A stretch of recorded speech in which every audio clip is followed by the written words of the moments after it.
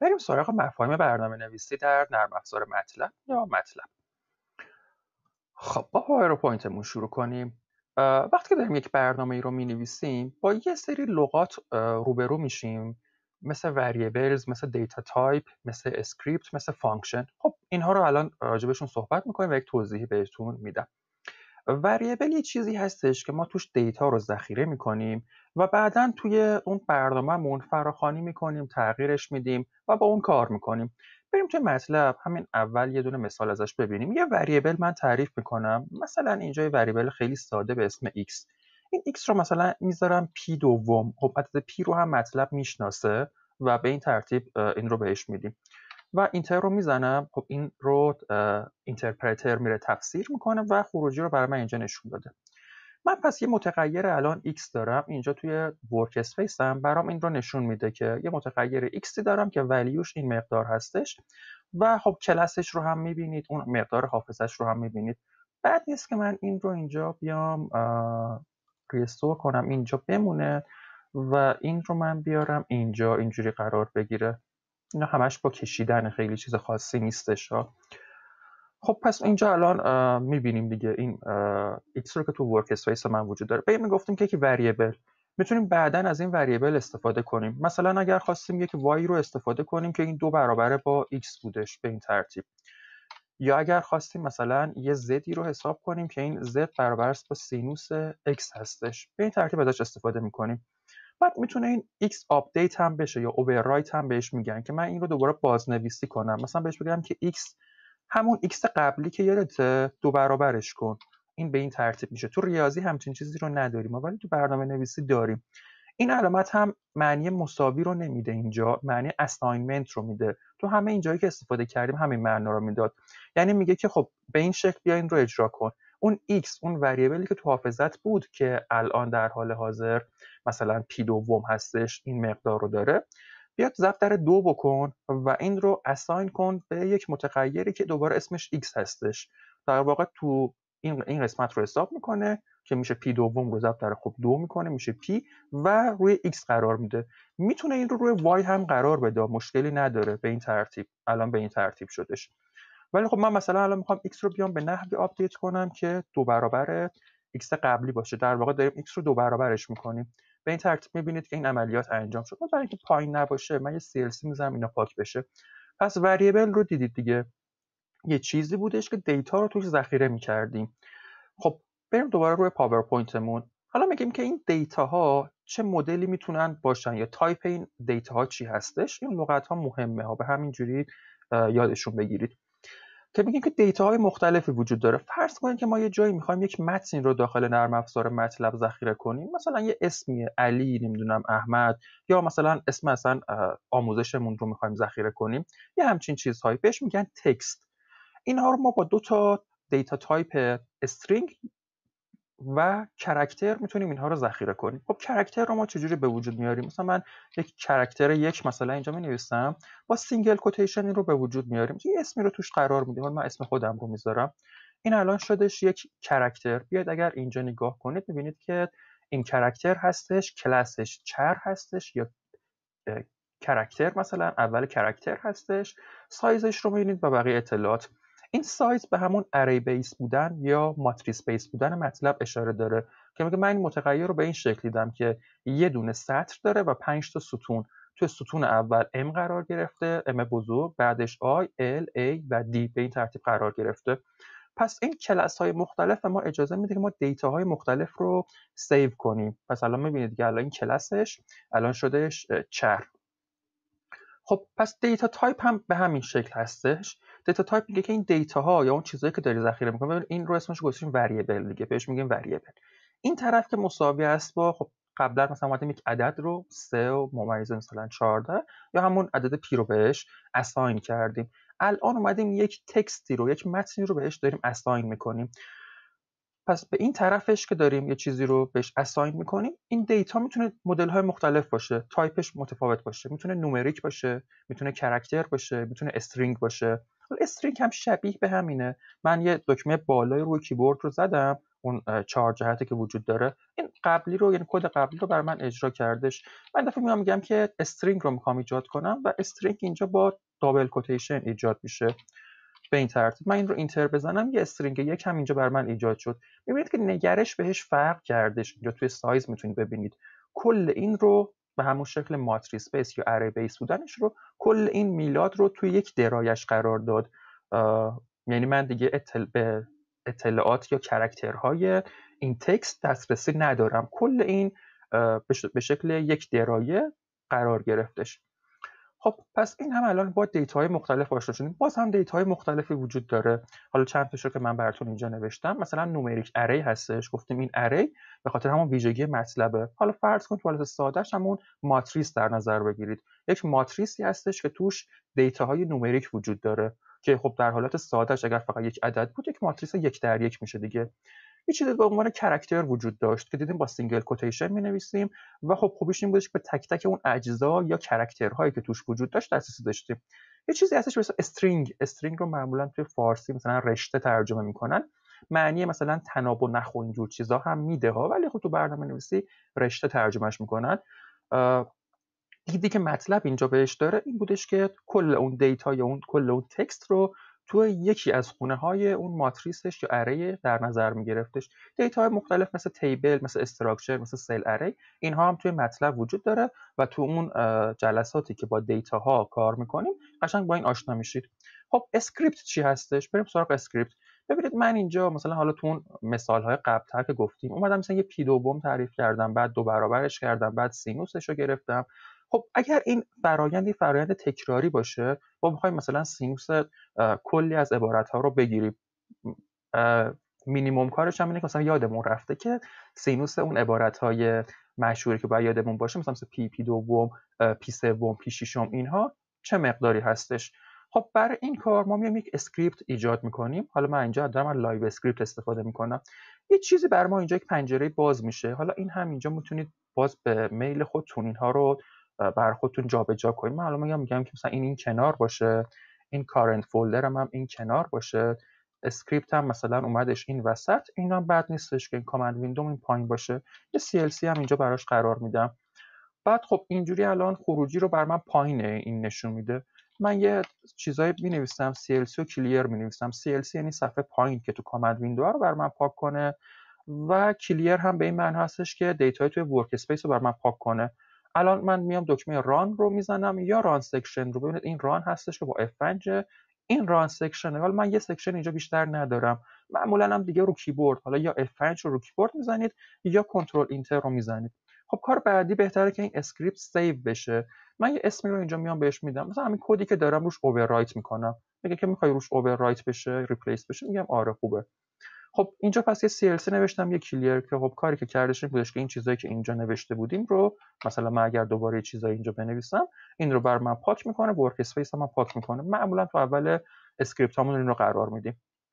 خب بعد همون چیزها رو میام می‌نویسم. مثلا می‌نویسم که x برابر با پی دوم هست. یه semicolon آخرش می‌ذارم.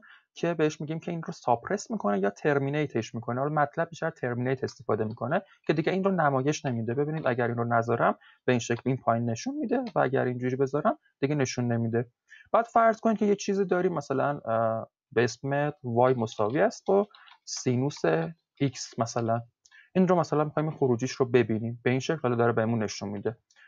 بعد ممکنه که اینجا ما یک range ی از x ها داشته باشیم و یک range ی از سینوس های x داشته باشیم. دارم حالا با script آشناتون می‌کنم دیگه. فرض کنید که ما ده ها بار می‌خوایم این تکرار بشه. مثلا اینجا میایم هی این رو عوض می‌کنیم. یه بار پس من اینجا میام این رو عوض می‌کنم. سینوس اون عبارت رو بر من حساب می‌کنم می‌بینید که یه مقدار خطای عددی رو هم اینجا بهمون داده دیگه. سینوس پی رو دقیقا صفر برای من حساب نکرده. مثلا میام این رو صفر می‌کنم حالا باز مثلا داریم همین راجبه صحبت می‌کنیم دیگه. اینا رو با جلوتر باش آشنا میشید. من می‌خوام یک sequence ایجاد کنم. بهش میگم که از صفر با گام های مثلا پی سوم تا عدد پی که این رو دوباره دو نقطه هستش. این برای من یک sequence ایجاد می‌کنه. حالا با هم دیگه میبینیمش. من یک رو run section یا F5 رو بزنید. ببینید الان یک sequence ایجاد شدش که اولی شدش صفر بعدی میشه پی سوم بعدی میشه دوباره با گام پی سوم میره جلو میشه دو پی سوم و بعدش به پی رسیده. می‌تونستیم این sequence رو به نحو دیگه ای رو هم ایجاد کنیم. مثلا با linspace به این شکل می نویسیم که linspace این باز میشه. میگم که از صفر مثلا تا عدد پی رو بیا به چهار تا تقسیم بر من تبدیل چهار تا تقسیمش کن. می‌بینید دیگه دوباره به این شکل بر من این رو کرده. می‌تونم بهش بگم که 5 تا بکن 6 تا بکن. به این ترتیب الان میاد اینها رو برای من انجام میده و متناظر با اون سینوس های x رو هم برای من انجام داده. خب این که صفره این که پی شیشمه و این هم خب اون تعدادی که تقسیمات رو می‌خواستم بگم من بهش گفتم 6 تا مشخصه دیگه گامش چقدر میشه. یا می‌تونید اینجا مثلا عددی رو قرار بدید مثلا فرض کنید که این رو قرار بدید 6 به این ترتیب ببینید که این داره چیکار می‌کنه. حالا اینم سینوس های متناظر باش رو حساب کرده. پس این کمکمون می‌کنه که ما چندین بار هی تو command window بخوایم این رو انجام بدیم. script یک sequence ی یا یک مجموعه از یک توالی از فرمان ها یا function های مختلف یا command های مختلفه که توی یک فایل می نویسیم save ش می‌کنیم و بعدا بهش دسترسی خواهیم داشت. مثلا فرض کنیم من زد رو هم می‌خوام در ادامه ازش حساب کنم. این کوسینوس مثلا ایکس و بعد چیزهای دیگه هم می‌خوام هی حساب کنم. سینوس کوسینوس تانژانت کوتانژانت. خیلی چیزهای دیگه هم داریم. پس این رو من توالی کدم رو می نویسم و دیگه هر وقتی خواستم میام این رو اجرا می‌کنم. ممکنه که نیاز باشه که دوباره این x هم عوض بشه. این x رو یه خط میام اینجا تغییر میدم و بقیه چیزها محاسبه میشه. خب پس این هم شدش script. پس یک فایلی هستش که توش پشت سر هم دیگه میایم. کدها یا فرمان ها یا command ها رو می نویسیم یا function هامون رو می‌تونیم بنویسیم. این الان یک function هستش. همون مدلی که شما با function مثلا y مساوی است با f(x) آشنا بودید. function یک ورودی بهمون می‌گیره می‌گیره و یک خروجی رو بهمون میده. ما همین الان یه ذره پریدیم سراغ function هم صحبت کردیم. function خودش یک sequence ی از کدها هستش یا command ها یا function های دیگه هستش؟ تا اینجا شبیه script هستش. یک ورودی می‌گیره و یک خروجی رو بهمون پس میده. پس این رو هم الان تقریبا باش آشنا شدیم. پس به این مثلا میگیم که یک function یک ورودی ازمون گرفته و یک خروجی رو بهمون داده. اینها همشون function بودن من اینجا استفاده کردم. تا اینجا هم هر کدوم استفاده کردم یک function بودن. تو یک script هم ما میگیم که معمولا میایم یه سری function ها command ها یه سری متغیرها رو میایم تعریف می‌کنیم تا بعدا ازشون استفاده کنیم. که تو همون روند برنامه نویسیمون ازشون استفاده کنیم. پس این به این شکل شد. ما function رو خودمون هم می‌تونیم بنویسیم. اینجا مثلا الان تا الان از function های built-in MATLAB یا function هایی که تو MATLAB ساخته شده بود استفاده کردیم. می‌تونیم بیایم خودمون هم function بنویسیم. تو من live function میام اینجا ایجاد می‌کنم. ببینید structure ش رو برای ساخته. میگه که اینجا اسم function رو بگو ورودی ها رو به من بگو خروجی رو هم رابطش رو تعریف کن. مثلا من بهش میگم که خب همین چیزی که مثال زده. میگه که x و y رو به عنوان تو ورودی بده و من اینجا با هم دیگه اینها رو جمع می‌زنم بهت خروجیش رو میدم. یا مثلا می‌تونیم اسم این رو بذاریم add مثلا یا مثلا می‌تونیم بذاریم sum مثلا یه همچین چیزی. این دوتا رو داره با هم دیگه جمع می‌کنه و خروجیش رو بهمون میده. پس ما می‌تونیم function رو خودمون هم تعریف کنیم. این هم تا اینجا. پس با مفاهیم مختلفی که تو MATLAB هستش آشنا شدیم.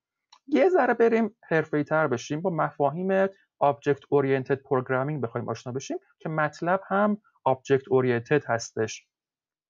خب یه مفهوم دیگه وجود داره یا یک چیز دیگه وجود داره به اسم کلاس هستش. یا کلاس حالا اینجا من جمعش رو براتون آوردم.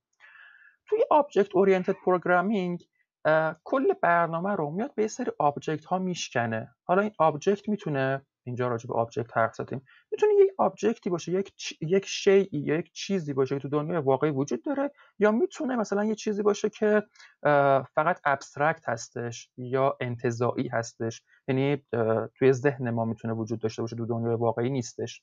خب یک مثال بزنیم. فرض کنید که ما یک برنامه داریم می که یک بازی کامپیوتری مثلا مثل FC24 یا بازی های فیفا یا هر بازی فوتبال دیگه ای رو ایجاد کنیم. object هایی که تو اون بازی وجود داره یکی از object هاش خب بازیکن ها هستن. یه object دیگهش مثلا می‌تونه تیر دروازه باشه یا اصلا اون محدوده زمین باشه. که بعد میایم با این object ها یعنی کل برنامه نویسی رو به یه سری object ها میایم تقسیم می‌کنیم. میگیم یکی از object ها بازیکن ها هستن. خب برای اینکه ما تک تک این بازیکن ها رو بخوایم ازشون استفاده کنیم بریم کلاس تعریف می‌کنیم. میگیم که یک کلاسی وجود داره. این کلاس کلاس بازیکن ها میشه و هر کدوم از این بازیکن ها رو که ما خواستیم تعریف کنیم مثلا خواستیم دروازه‌بانمون رو تعریف کنیم نمی‌دونم تیمو کورتوا رو مثلا تعریف کنیم یه آبجکتی از این کلاس هستش پس بازیکن ها شدش اون همه بازیکن هایی که تو این بازی وجود داره شدش مثلا کلاس. هر یه دونه مثالی یا هر یه دونه کلاس با ویژگی های خاصی که اومدیم تعریف کردیم میشه یک object یک شیئی که داخل اون برنامه نویسیمون وجود داره. پس مثلا الان همه بازیکن ها میشن کلاس و مثلا دروازه‌بانمون شدش یه دونه object مون. مثلا هر کدوم از بازیکن ها می‌تونه یک object باشه. مثلا تعریف می‌کنیم. حالا از بازیکن هایی که الان خیلی مطرح مثلا بلینگهام رو تعریف می‌کنیم. یک object هست. کلا حالا هر کدوم از این بازیکن ها رو یک object ی میشه که یعنی یکی یک مثالی از یا یک استفاده ای از اون کلاس میشه. این شکل میشه object. حالا این اینا که توضیحاتی که نوشتم خیلی خوبه. میگه که user-defined data type هستش. راجع data type صحبت کردیم دیگه. یک مدلی از data بود. خب یه وقتی data مون مثلا دیدیم که عددها بودن یه وقتی متنها بودن. حالا این چیزا خیلی ساده است.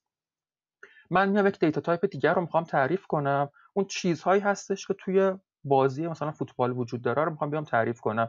دیگه اونجا عدد و مثلا text و اینها خیلی نیستش دیگه. چیزهای دیگه ای هستش. پس میگه که من می‌تونم با کلاس بیام یک data type ی رو خودم تعریف کنم که یک blueprint یا یک بستری هستش برای تعریف تک تک این object ها حالا این کلاس attribute داره متد داره و property داره چیزهای مختلفی داره. ما خیلی خیلی وارد اینها نمیشیم توی MATLAB ولی خب بهتون یه سریاشو توضیح میدم اونهایی که استفاده می‌کنیم پس کلاس یک چارچوبی هستش برامون. که تعریفش می‌کنیم و توی این چارچوب مثلا من یه چارچوبی رو تعریف کردم برای بازیکنها. تک تک اون بازیکن ها رو میام تعریف می‌کنم دوباره. میگم که یه بازیکن دارم مثلا فوروارد یه بازیکن بعد اسمش اینه مثلا اسمش نمی‌دونم مسی اسمش رونالدو اسمش مثلا کریم بنزما یا اسمش چیزای دیگه لوانوفسکی مثلا. پس این میشه یک object ی از اون کلاس. بازیکن ها شدن کلاسمون اینها شدن یک object ازش. متد چیه؟ function رو الان باش آشنا شدیم دیگه. متد یک function ی هستش که داخل اون کلاس تعریف شده. مثلا کلاسمون شد بازیکن ها خب هر کدوم از این بازیکن ها یک object شد. مثلا لواندوفسکی شد یکی از object های اون کلاس. بعد ویژگی های مختلف یا function ها یا قابلیت هایی که اون بازیکن انجام میده رو مثل اینکه مثلا می‌تونه دفاع کنه می‌تونه حمله کنه می‌تونه شوت بزنه می‌تونه مثلا سر بزنه اینها رو بهش میگیم متد. کارهای مختلفی که اون می‌تونه انجام بده. میشه متد. property میشه ویژگی های مختلف اون object مثلا قدش چقدر بلند کوتاه چاق لاغر چقدر می‌تونه بدو سرعتش چقدر محدوده حرکتش بشه. این میشه property ش. یه چیز دیگه هم به اسم attribute وجود داره. تو بعضی از زبان ها این دوتا خیلی نزدیک هستن به هم دیگه. اون وضعیت object رو بهش میگیم. که گفتم یه مقداری تو بعضی از زبان ها این دوتا به هم نزدیکن تو بعضیش هم هر جفتشون وجود نداره. که اون state of object رو بهش میگیم این اون object مون الان چه ویژگی هایی رو انگار داره دوباره این دوتا نزدیکن به هم دیگه. الان خیلی نمی‌خوام وارد این دوتا بشم مثلا این دوتا فعلا تا حدودی به هم دیگه نزدیک هستن. این attribute یا خصیصه های مثلا اون object رو داره میگه یا state اون چیز رو داره میگه اینم property characteristic ویژگی های اون object رو داره بهمون میگه. تا حدودی به هم دیگه نزدیکن. ما حالا توی MATLAB بریم که چیزی که می‌خوایم استفاده کنیم. خب یه سری از کلاس ها مثل همون کلاس مثلا بریم توی MATLAB ببینیم اینجا رو. یه کلاس مثلا double وجود داشت یک سری کلاس دیگه string و character و اینها وجود داشت. این کلاس ها وجود داشت و من استفاده کردم. بهشون میگن که predefined class یا حالا built-in هم ممکنه بهشون بگن. کلاس هایی که وجود داشته از قبل. من یه لحظه کروم من رو هم باز کنم. خب الان بهش اون چیزی که می‌خوام رو تو کروم بهتون نشون میدم. خب پس اینجا الان اومدیم راجع به کلاس صحبت کرد. بعد object متد property attribute خب بریم حالا یه دونه استفاده کنیم ازش. خب من function های مختلفی رو الان اینجا می‌تونم بیام بهش دسترسی داشته باشم. مثلا می‌خوام به function plot دسترسی داشته باشم. این رو باز می‌کنیم. من حالا documentation هم اینجا اومد قرار گرفتش. بعدم نیستش جاش می‌تونید این رو بیارید بالا بازش کنید. هر کاری که دوست دارید بکنید. من حالا باشه این هم باشه اینجا همین مدلی که هستش بد نیستش. ببین plot plot و اینجا به من syntax های مختلف یعنی نحوه نوشتار این ها رو به من نشون داده. این حالت آخر من مد نظرم هستش. بیایم اینجا و اینجا حالا کجا بود؟ کنم رد کردیم. اینجا که اینها هستن. table اینجا هستش. میگه که این رو اگر به این شکل بیای استفاده کنید بهت یه دونه line object خروجی میده. پس یک دونه line object خروجی میده و با این object حالا ما در ادامه کار خواهیم کرد. خب حالا همین این بد نیست. حالا از صفر تا بیم برگردیم رو همین مثالمون. این فقط من تعداد رو بیشتر می‌کنم که 100 تا 100 تا تقسیم مثلا انجام بده که البته by default ش هم 100 پس من این رو پاک می‌کنم. خب پس الان 100 تا تقسیم انجام داد. بعد x رو اومد ازش سینوس گرفتش یا برام ازش کوسینوس گرفتش. تو متغیرهای y و z ذخیره شد. بعد بهش میگم یک نمودار برای من رسم کن این نمودار به این شکله که x محور افقی قرار بده و y رو محور قائم قرار بده. این نمودار رو الان برای من اینجا میاد رسم می‌کنه. به این شکل الان برای من رسم کردش.